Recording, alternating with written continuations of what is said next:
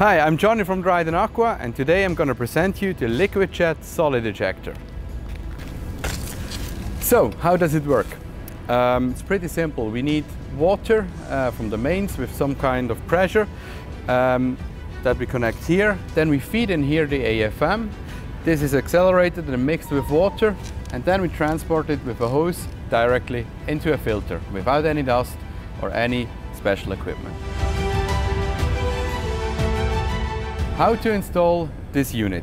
Pretty simple. First, you connect the pipe that goes into the filter to the machine. The other end of the pipe should be already in the filter where it needs to go. Next, you connect the ball valve at the inlet and you close it. And then you connect the water hose on this side of the valve. And then we can connect the pipe on the other side on a fire hose or any kind of water supply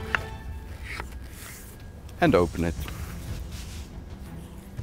You can use this uh, machine either with normal standard bags and fill it like that or with big bags.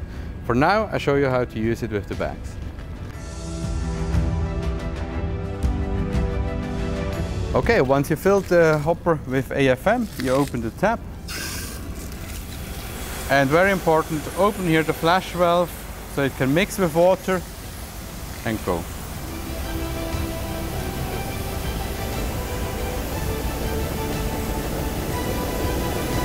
now I'm going to explain you how to use it uh, with a big bag. You drive with the big bag here on top of the hopper. Then you can simply open here the lash.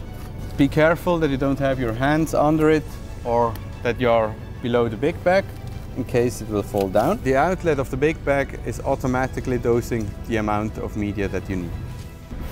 That was less than seven minutes for a full big bag, one ton of AFM grade one. I think that's a cool tool. For more information, check the instructions and have fun.